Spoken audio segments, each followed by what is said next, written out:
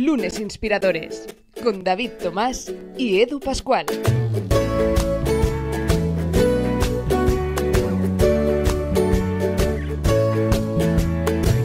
Bienvenidos a un nuevo capítulo de eh, Lunes Inspiradores. Hoy tenemos a un invitado que parece, yo creo que casi coincidencia, David Tomás, ¿qué tal?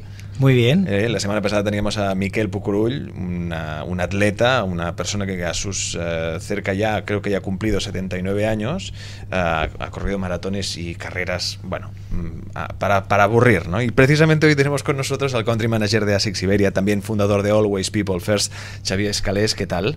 Muy bien. Bienvenido y gracias eh, por, invitarme. venir. No, hombre, un placer, el placer es total y absolutamente nuestro, ¿no? Qué, qué- qué coincidencia, ¿eh? También que precisamente la semana pasada nos, nos acompañara Miquel Pucurull, que precisamente os conocéis ahí ese, ese vínculo. Sí, nosotros bueno lo conocimos a través de, de Victoria, que es nuestra responsable de, de comunicación. Conocimos su historia y creemos que pues encaja con los valores de la marca, ¿no? Al final ASICS significa anima sana, incorpore sano. Y cuando encuentras estos perfiles, ¿no? Que, que- que trascienden más allá del deporte, sino que- que llevan estos valores asociados, pues siempre es bueno llegar a colaboraciones y estamos muy contentos de, que, de, de equiparlo. Pues venga, vamos a por la pregunta estrella. Como siempre, empezamos el programa preguntando a los eh, invitados qué es para él un lunes. ¿Qué supone para ti el primer día de la semana? Mm, Pues significa sueño y significa levantarme con alegría. O sea, no os voy a engañar. Yo tengo dos niños pequeños y a veces eh, no duermo todo lo que debería y no puedo descansar el fin de semana todo lo que debería. Pero el lunes empiezo con ganas. Eh, empiezo la semana con mucha energía y, creo, y un consejo que doy a la gente que nos está escuchando, es eh, programarse actividades divertidas el lunes. Yo muchos lunes tengo la suerte de, jugar a pádel con compañeros de, de, ASICS y realmente tener, tener cosas que sabes que te gustan, especialmente el lunes, te ayudan a empezar la semana con esa actitud positiva. Es una muy buena idea, sin duda, y es cierto, porque parece que por ser lunes, ¿no? O es como los domingos, ¿no? Que ya parece que te tengas que estar allí pudriéndote hasta que llegue el lunes, ¿no? Es como extraño y es importante ocuparse para hacer cosas que realmente te hagan sentir bien. Es un muy buen consejo, sin duda. Exacto, sin duda, como nos vas a dar eh, unos cuantos más. A mí me gustaría, bueno, hablar, empezar a hablar de, de tu libro, ¿no? Lo tenemos aquí en pantalla. señor. Sí, señor. Las personas primero, Always People First, que además tiene que ver con, con la consultora que, de la que tú eres fundador, ¿no? Y habla un poco de, de toda la historia de tu trayectoria profesional, ¿no? A mí me gustaría, bueno, primero de todo recomendar el libro, ¿eh? Los que, los que nos estáis siguiendo, pues descargaroslo, comprarlo, porque es un libro que vale la pena, es, es fácil de leer, está explicado en primera persona. Pero hablas, en tu trayectoria estás muy vinculado a Emilio, ¿no? Que es el... bueno, ahora no sé qué cargo ocupa en la organización, ¿no? pero habéis estado durante muchos años trabajando juntos. Cuéntanos un poco cómo, cómo empiezas en- a nivel profesional, cuál es tu relación con Emilio y cómo arrancas y consigues llegar hasta ASICS. Pues ah, nuestra relación empezó de cero. Es decir, yo eh, acabé una, una etapa en, eh, en Acoroteles y estaba buscando un nuevo proyecto y a través de una consultora, pues eh, con un proceso de selección, eh, él ah, me fichó. De hecho, eh, yo siempre le recuerdo que fue bastante desagradable durante el proceso de selección. Era, hacía de poli malo. Luego me explicó que había los polis buenos y el poli malo. Y yo me acuerdo de ir a, a- a mi pareja, la que es ahora mi mujer en aquel entonces, decirle, oye, hay un proyecto muy chulo vinculado a- al sector del deporte que me gusta mucho, eh, pinta todo muy bien, solo hay un pero. Y me decía, oye, ¿cuál es el salario? No, no, el salario está bien, ¿no? y las condiciones, no, no, el lugar, no, no, ¿qué, qué es lo que pasa? Y mi jefe, yo no, hay cero sintonía, o sea, yo le explico las cosas, pero no, vamos, ni me mira. Y luego, a raíz de los años, pues me, explicó, dice, no, no, yo jugaba el papel de poli malo y te quería poner nervioso y tal. Y dice, oye, pues lo jugabas bien el papel de poli malo. Entonces, básicamente, él eh, me, me fichó para, para Life Fitness, el proyecto. Estuvimos trabajando un tiempo. También siempre digo que me engañó, de, de buen rollo. Digo, oye, tú me engañaste porque yo buscaba un proyecto para, para, para muchos años y tú me vendiste Life Fitness, pero al cabo de un año eh, se fue a ASICS. Le ofrecieron el proyecto de, de- de, bueno, pues de, de levantar ASICS, que en aquel momento, en el año 2006, era la marca número 18 en España y juntos, pues en estos casi 12 años que hemos trabajado juntos, pues la hemos situado en el número 3. Entonces él al cabo de un año me dijo, oye Xavi, eh, te dije que, que- que yo iba, te ofrecía un proyecto de larga duración. Y dije, sí. Dice, pero me equivoqué en el nombre de la empresa, no es Life Fitness, es ASICS. Y entonces él me dijo, oye, me voy a ASICS, pero quiero que vengas conmigo. Y desde entonces, pues ha sido una relación ah, muy intensa, digámoslo así. ¿Y dudaste en algún momento, eh, porque llevabas un año solo en la, en la nueva compañía, dudaste en cambiar de ASICS o tuviste claro, oye, yo creo en, en el tándem Emilio y yo y nos vamos los dos? Mira, yo me, me, dejo guiar bastante por la intuición. Y de hecho he leído algo hace poco de un estudio que decía que la intuición tiene base científica. O sea, cuando vas por la acera y ves a alguien que viene con malas pintas y te cruzas, muchas veces tienes razón de haberte cruzado, ¿sí? De haber evitado algunos problemas y sí, no sé si es que tiene que ver con el reptiliano o no sé, no sé qué es, pero dicen que tenemos que hacer caso a nuestra intuición. Eso no significa que estemos preparados, ¿eh? Y que hagamos los números bien hechos, pero la intuición tiene un peso importante. Y yo me dejé llevar por la intuición. Sí que estuvimos un año aproximadamente trabajando juntos en live, pero fue una relación muy intensa. De hecho, él tenía una mano derecha en live eh, y, cuando yo empecé, realmente él vio pues, que invirtiendo tiempo en mí y yo vi que invirtiendo tiempo en él, pues salían los resultados, ¿no? Y que, conseguíamos cosas importantes. Y, a veces, pues yo hablo mucho del brillo en los ojos. Eh, cuando me explicó el proyecto de ASICS, ¿no? Eh, yo veía brillo en los ojos. Y un consejo que doy a la gente que esté en el momento, oye, no sé si hacer las cosas, pues hacer los números, eh, pensarlo bien y además dejaros guiar también por la intuición y buscar ese brillo en, los ojos de la gente. Mi experiencia me aconseja que tengamos siempre presente a nuestra gente, a nuestros empleados, a nuestro equipo. Te estoy citando. Always People First, sin duda. Es algo, mm, algo muy importante en las que muchas empresas se están poniendo las pilas en ese aspecto. Mm. Están dejando de ver a, contratos con patas mm. a ver realmente que hay personas, ¿no? Detrás de esos profesionales hay personas. Mm.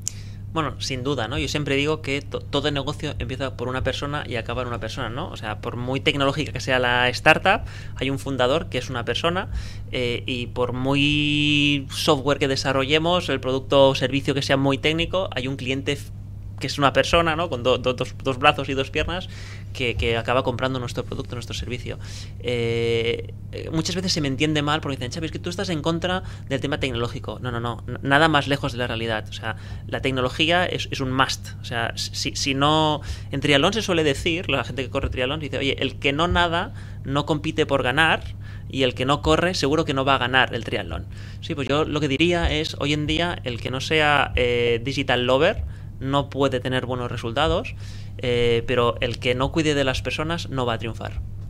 ¿Y cuál ha sido el testimonio que has querido un poco compartir, la, idea que has querido expresar en este libro? Bueno, básicamente, eh, bueno, primero decir que yo nunca me imaginé que escribiría un libro. Eso es bueno, ¿eh? ¿eh? si, me lo hubierais, si me hubieran preguntado hace cinco años, hubiera dicho impossible, no way. Eh, cuando lo escribí, porque, bueno, fui a dar una charla en una escuela de, de negocios y hubo, bueno, estas, estas, tantas veces que nos pasa en la vida, ¿no? Que cuando te piensas que eres alguien, pues viene la vida y te da un zurriagazo y dices, uy, pues no soy nadie. Pues yo fui a dar una charla y una chica de veintipocos años me dijo, oye, Xavi, si realmente te piensas que, que Always People's First es algo de verdad y lo sientes de verdad, deberías escribir un libro porque llegarás a más gente y fue como un baño de uy pues yo que pensaba que exacto eh, entonces escribí el libro para que no me pudiera decir si me lo volvía a encontrar nunca, oye Xavi, no lo has hecho.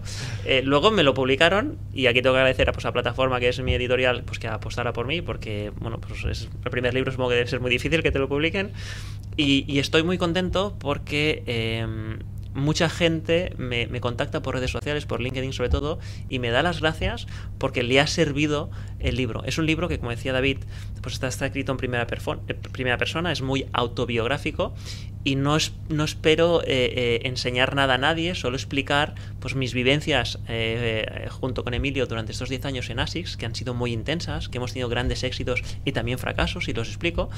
Y, y, el objetivo era pues, ayudar a esa gente que se puede encontrar en situaciones parecidas y lo más enriquecedor de escribir el libro es, precisamente el feedback de los lectores cuando te dicen, oye Xavi, gracias por escribirlo porque me ha ayudado a mí pues, a gestionar un problema con un compañero o a ver que tengo alguna debilidad y necesito mejorar.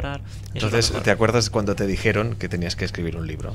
Sí, eh, de vez en cuando mm, vuelvo ¿Le, a ¿Le regalaste algo a esa chica? No, de hecho, no, la, hago un llamamiento desde aquí. Si me estás viendo, me gustaría pues invitarte a cenar, a comer y regalarte el libro. Sería fantástico, sí, ¿eh? pero supongo que eh, se le veía muy brillante, o sea, que seguro que está pues en Kuala Lumpur triunfando en alguna. Eso esperamos, claro que sí. de alguna empresa. A, mí hay un tema interesante, ¿no? De fíjate, vosotros, tú lo comentabas y en el libro lo explicas, ¿no? O sea, cuando tú entras y Emilio entráis en ASICS, sois la marca 18 en España mm. y pasados unos años sois la tercera y subiendo, ¿no? Que estáis todavía y con muchos éxitos, ¿no? Como el pádel, que fue una apuesta vuestra y, y otros deportes, ¿no?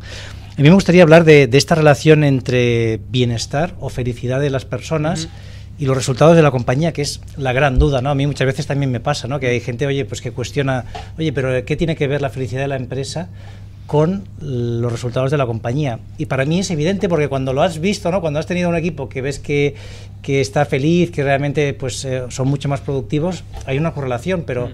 es difícil justificarlo. ¿no? no sé si puedes contar tu caso que demuestra con números que, que hay una correlación directa. Precisamente la semana pasada estaba dando una, una, charla y puse una slide, porque cuando, efectivamente, cuando estás explicando lo que haces en tu empresa, la gente dice, no, es que mejor es porque ASICS eres del deporte o CyberClick es una startup, y entonces, claro, esto ya os beneficia, esto no puede ser en cualquier otra empresa.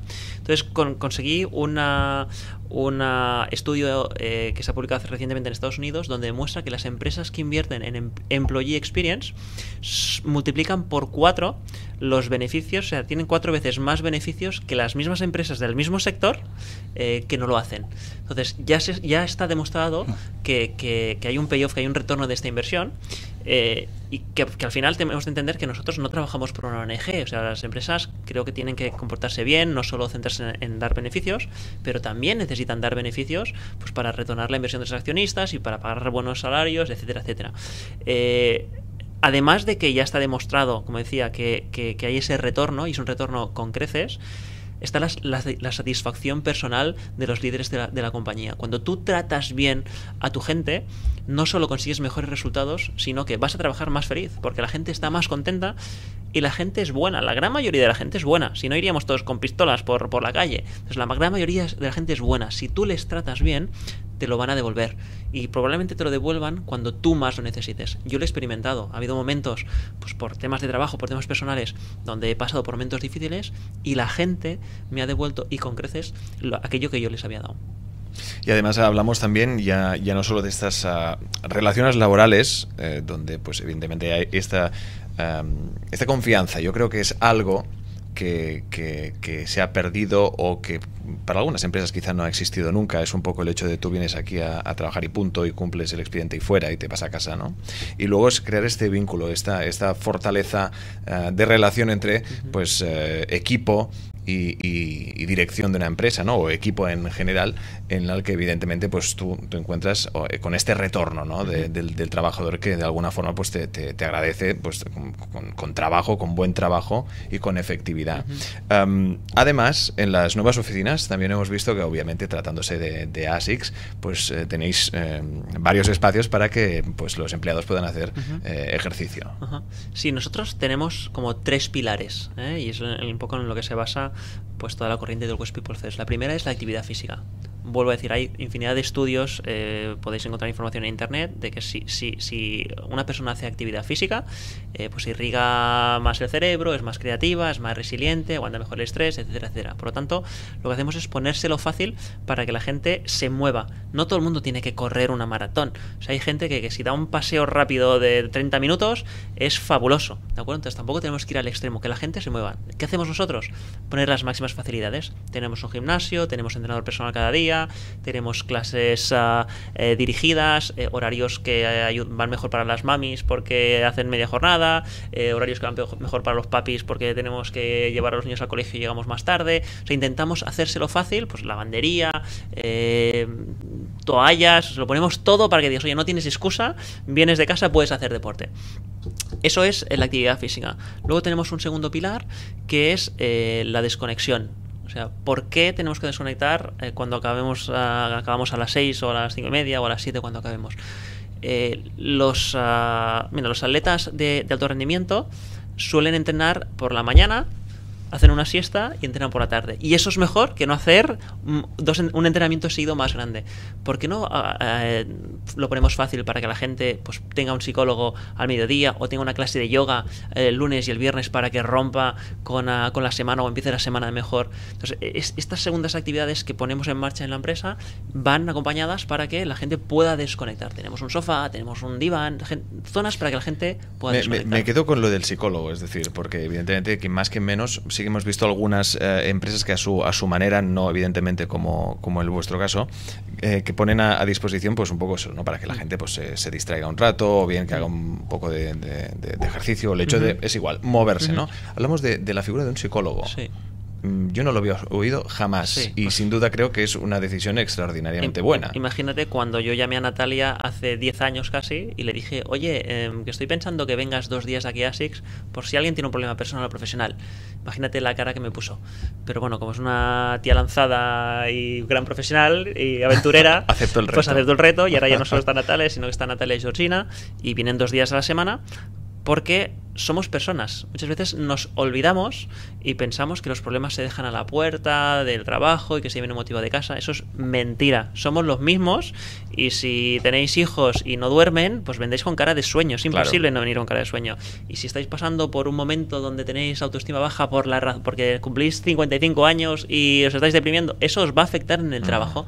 Entonces es importante, pues igual que pues, los entrenadores eh, cuidan de, de- de los futbolistas y cuidan de los jugadores de tenis, pues los líderes de las compañías tenemos que cuidar a, nuestros, a las personas que trabajan con nosotros porque queremos que estén en las mejores condiciones para dar los mejores resultados. Es que me parece alucinante en ese aspecto, es decir, es, es muy bueno porque los problemas van y vienen. Mm. Es decir, tú te puedes ir del trabajo y te llevas los, los problemas a casa, como puedes problemas, tener problemas en casa y te los traes al trabajo. Completamente. Yo creo que este es uno de los puntos que más frustran a mucha gente, ¿no? Que al final eh, llegas a una empresa y parece que tengas que ser profesional, solo profesional y dejar toda tu, tu- tu otra vida en la puerta nada más cruzarla, ¿no? Yo también es uno de los puntos que siempre abogo, es decir, que cuando uno tiene un problema personal, que lo pueda compartir con sus compañeros, porque además te van a entender mejor, es decir, que tú a lo mejor tienes una cara, pues eso- ese día triste, pues porque tu padre está en el hospital o porque tu hermana le ha pasado no sé qué, y tus compañeros no te van a entender y van a pensar que estás enfadado con ellos porque o que ese día estás de mal humor por lo que sea, ¿no? Cuando en realidad lo que necesitas es justamente el apoyo de, de tus compañeros para sacar adelante un poco las, los retos que tengas, ¿no?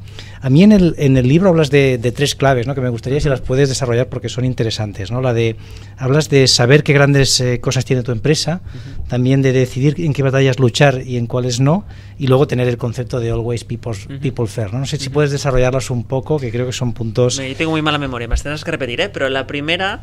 eh, Sí, muchas veces la gente no, sí, la primera es muchas veces la gente no tiene claro lo que, lo que es y lo que quiere ser. Sí, ahora mismo que estamos viendo todo el tema de transformación digital, pues el otro día yo le hablaba a un cliente y le decía, oye Xavi, a ver si nos ayudas en- con todo este tema de transformación digital que no acabamos de arrancar. Y yo le pregunté, miré a los ojos y, y le dije, ¿y tú en qué te quieres transformar? Porque transformación digital significa aprovechar las nuevas tecnologías para transformarte en algo, ¿sí? Claro. No me supo responder. ¿De acuerdo? Entonces muchas veces nos falta pues e- esa, eh, ese autoconocimiento para saber, oye, en qué momento estamos, qué cosas buenas tenemos, qué, qué debilidades tenemos y hacia dónde queremos ir. Es- hacia dónde queremos ir. Yo creo que esa es la, la base para empezar a hacer las cosas bien. Una vez sabes lo que tú eres y hacia dónde quieres ir, eh, yo siempre insisto mucho en la consistencia. Hay gente que dice, no, yo hoy quiero ser el ah, más técnico, mañana quiero ser el más barato, mañana quiero ser el que entregue mejor, mañana quiero ser, claro, mm, al final llevas al equipo eh, y, y yo cuando veo noticias de "Oh, esta empresa está en dificultades en las noticias, pienso, ¿serán los trabajadores o serán los líderes que no han sido demasiado consistentes? Y- Aquí, aquí, perdona, haciendo un símil con el deporte sería correr maratones más que sprints, ¿no? Que al final el mercado nos lleva a que las compañías hay mucha prisa, hay que hacer sprints, pero el éxito viene con la maratón, ¿no? Viene a largo plazo y siendo consistente, lo que Sí, tú decías. Sin duda, sin duda. Y la última pata, que es Always People es, bueno, las empresas ya no, ya no competimos para atraer talento ofreciendo mejores salarios, ni incluso mejores paquetes retributivos, ni mejores retribuciones en especie.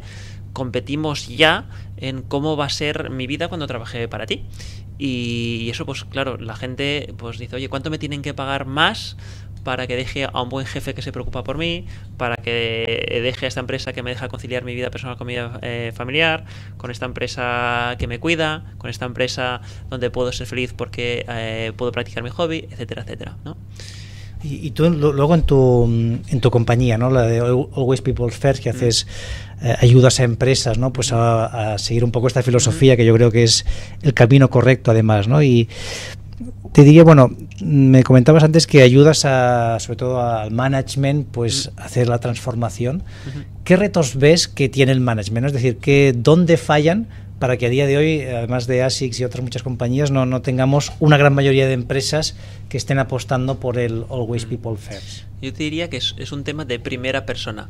Sí, me encuentro con mucha gente que me dice, oye, necesito que mi empresa se transforme, necesito que mis equipos eh, se adapten a las nuevas tecnologías, eh, necesito que mi middle management tenga adquiera tal habilidad o tal skill, ¿sí? Eh, me encuentro muy pocos grandes responsables de empresas que me digan, oye, necesitamos he también de mejor yo también he de mejorar yo primero de todos no entonces pasa por ahí. Yo de hecho por ejemplo en el libro yo explico pues cómo yo me di cuenta de las cosas que yo hacía mal porque vino mi equipo y me dijo, oye Xavi, eres mm, exigente, está muy bien, pero las formas no son las adecuadas.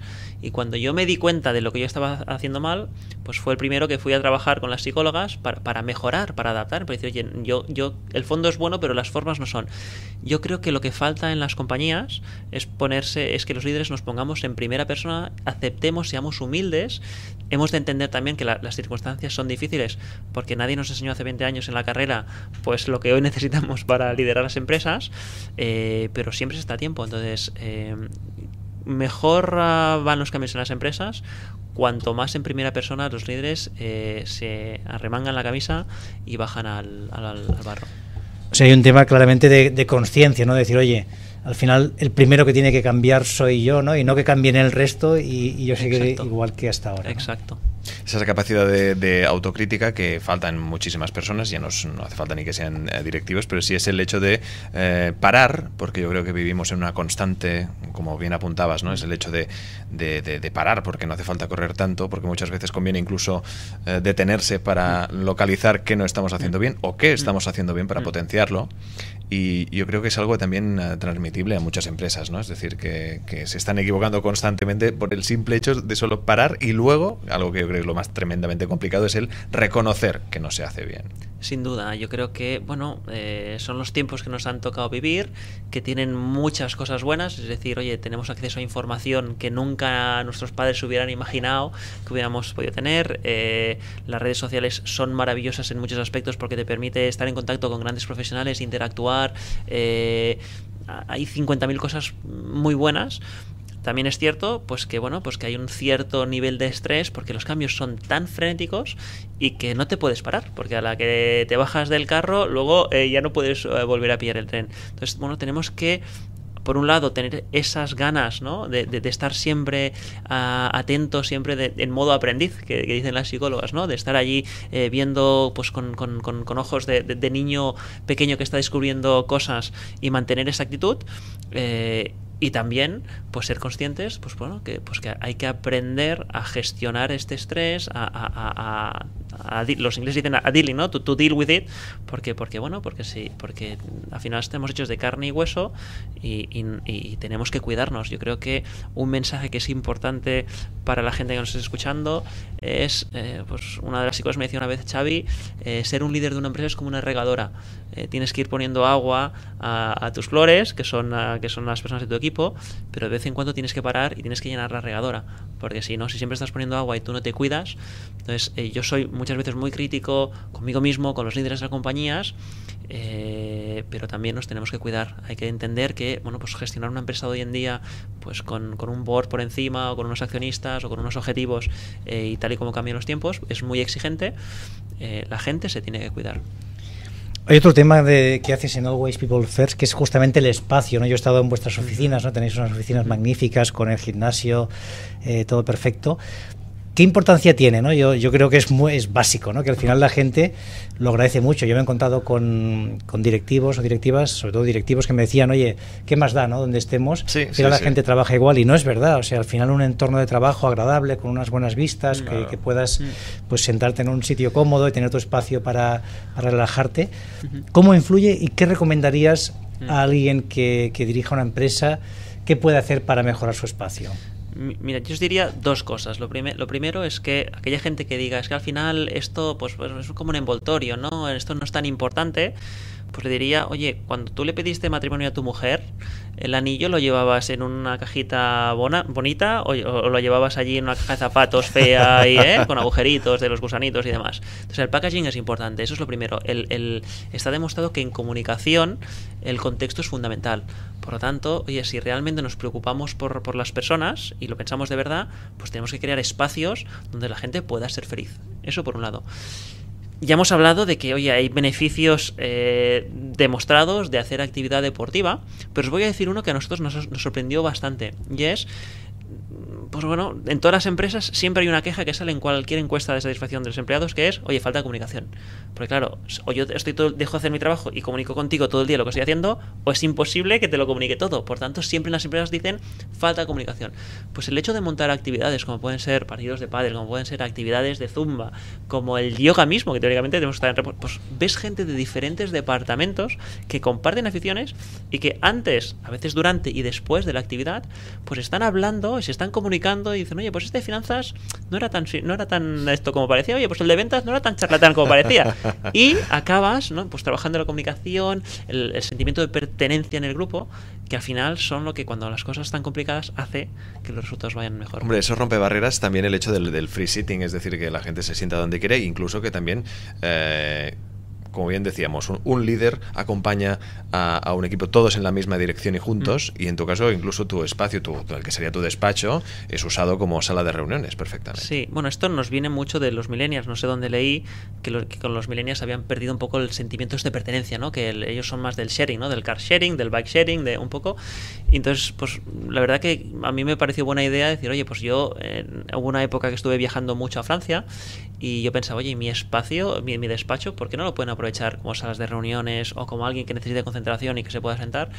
Y, y la verdad es que sí, o sea, en mi despacho no, no hay, bueno, David ha estado, no hay fotos de los niños, las tengo en el móvil y... Y, y las es, paredes son de cristal, si no sí, me equivoco. las paredes son, exactamente, son de cristal. Total, o sea, total transparencia, ¿no? que al final sí, es lo que... La puerta suele estar abierta, a no que venga alguien y me pida hablar, o sea, yo creo que hay pequeños gestos que acompañan. Lo que decía antes del packaging, ¿no? Eh, pues bueno, si, si tú crees firmemente pues, en un producto, en una manera de hacer las cosas, en, pues yo creo que todo tiene que, ir acorde. Sí, esto que comentas es totalmente cierto, ¿no? Y estos detalles, fíjate, no las, si lo pensamos, lo que hace una empresa tradicional al final siempre está en la planta noble, están los despachos de, del management totalmente separados, con mm.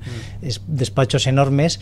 Me pregunta si realmente hace falta, es decir, oye, hace falta tener un, un, despacho en otra planta y estar separado de tu equipo, cuando en realidad, en tu caso, estás pegado con el equipo, constantemente con ellos. Sí, aparte esto, genera malestar. Claro, creo, es que ¿no? al el final, hecho de se separa de nosotros porque se cree superior, ¿no? Y es innecesario, es decir, al final estamos todos remando en el mismo sentido, en el mismo Exacto. barco y no tiene por qué haber una diferencia. Cada uno tiene un rol distinto mm. y obviamente mm. una remuneración, pero no hace falta hacerlo mm. tan explícito como en algunas compañías, ¿no? Pues que ves mega despachos que además sí. solo los que además usar... depende de, del nivel que tengas en la jerarquía, tienes más metros de despacho. Menos. Exacto. Esto es gracioso. Dices, ah, mira, sí, sí. le han ascendido curioso, porque ahora tiene ¿eh? el despacho un poco más grande. Dices, ah, pues está, está y luego además hay piques, ¿no? Que yo lo he escuchado alguna vez de algún directivo, oye, ¿y este porque tiene un despacho más grande que yo si tenemos el mismo cargo, ¿no? Bueno, no, hay, bueno como sabéis, en las oficinas de ASICS todos los despachos tienen exactamente los, los mismos metros, son exactamente iguales. Eh, yo creo que al final las nuevas generaciones cada vez van a, a, imponer pues un poco las reglas. Yo creo que es bueno que los que somos un poquito más mayores eh, pues no nos vayamos adecuando porque al final lo que nos interesa es que, que haya el mejor ambiente posible en la empresa porque con gente feliz y gente contenta se trabaja mucho mejor. Desde luego, desde luego. Yo creo que de todas estas anécdotas precisamente, ¿no? De, de estos directivos que se pelean porque a ver quién tiene el despacho uh, más grande, ¿no? Deja de ser alguna metáfora en la que no entraremos, pero sí que es cierto que también daría para un, un libro, que, mm. que, al final son cosas también, ¿no? Porque sí. yo creo que nos encontramos también con muchas referencias de lo que debemos hacer bien, pero también sí. un poco recordarnos que no debemos hacer y que está mal. Sin duda, yo hay, bueno, hay un, un capítulo del libro que, que hablo de, de, de una, un error que, que, fundamentalmente fue mío, ¿eh? Es aquello que dices, oye, esto esto fue idea mía y esto lo vamos a sacar porque lo dije yo o yo eh, apreté mucho para que saliera. Y para mí hay, hay dos cosas que son importantes. La primera es que hay que aceptar los errores eh, lo antes posible, especialmente cuando han sido tuyos y, explicarlo. Eh, la gente, si eres honesto, lo entiende, porque al final todos nos, nos equivocamos. Hay que aprender de los errores y creo también que pues la gente que está por encima de, de, de, bueno pues los accionistas el board y demás tiene que aceptar también que los líderes eh, se puedan equivocar de vez en cuando. Porque claro yo, yo sé la manera de no equivocarme jamás. Y es yo me cierro en mi despacho solo hago que fiscalizar lo que hacen los otros no tomo ninguna decisión no me voy a equivocar. Pero en el mundo que, que, que vivimos que hay tantos cambios que mm, probablemente no estamos no tenemos esas skills que vamos a necesitar de aquí dos años es, es, es importante pues intentar ser innovador importante intentar ser creativo, arriesgar un poco, siempre controlado, pero arriesgar un poco. Y oye, no pasa nada tampoco si de vez en cuando te equivocas, porque si no, Yo creo que nos acabas de dar un ejemplo perfecto de lo que es el Always People First, ¿no? La idea de al final ser vulnerable, demostrar, o sea, enseñar que todos nos equivocamos, ¿no? Y esa idea de que el jefe o el responsable nunca se equivoca, pues está lejos de la realidad e intentar esconderlo no hace más que poner más, más barreras a, a con tu equipo. ¿no? Todos los que nos estáis escuchando, Always People First, para cualquier situación en la vida, yo creo que al final eh, somos personas humanas, eh, nos pongan en el contexto que nos pongan y se nos debe escuchar. Eh, generalmente quien hace las conclusiones es él, él hará las conclusiones de, de, la entrevista, pero yo me es que quiero destacar esta capacidad uh, de honestidad y sinceridad, esa capacidad de autocrítica que has tenido, que has reflejado en un libro, que esto queda para siempre, es decir, la gente dirá, oye, te equivocaste para bien en eso. y para mal, queda exacto, para siempre ya. Exacto, exacto. ¿no? Y eso a mí me parece de chapo. Si tuviera un sombrero me lo quitaría. Xavi Escales, gracias y ahora escuchamos las conclusiones de la pues, entrevista de David. Sí, las voy a hacer muy breves. La primera, sobre todo, os recomendaría leer el libro porque no nos ha dado tiempo de hablar de toda la historia de ASICS, todo lo que habéis vivido, que es apasionante, ¿no? Cómo pasáis. Tendrá ¿no? que comprar el libro. Oye, Cómo habéis ganado algunos clientes, claro. ¿no? Que se negaban a, a, sentarse contigo, te daban un poquito tiempo y ha sido gracias pues, a ese trabajo colectivo y al buen hacer que habéis tenido como, como management y como equipo. ¿no? Yo me voy a quedar solo con una idea, pero que creo que bueno resume un poco la actitud que, que tiene Xavier y la que propones con el Always People First, que es la que decías de, de, las psicólogas, ¿no? estar en modo aprendiz, estar oye con esta actitud de, de transformación, de estar aprendiendo, de querer cambiar las cosas y bueno, eh, delante de cualquier reto, pues aprender y si te equivocas, además reconocerlo y, y contar con tu equipo para buscarle una solución. Xavier Escalés, Country Manager de eh, ASICS Iberia y también fundador de Always People First. Gracias. Ya sabéis que tenéis que buscar este libro Las personas primero, Always People First. Yo creo que es un hashtag extraordinario con el que también, oye, pues podéis compartir todo este capítulo si lo estáis escuchando ya y vuestras opiniones eh, a través de redes sociales. Gracias y muchísima suerte. Gracias a vosotros. Muchas gracias, Xavier. Lunes Inspiradores.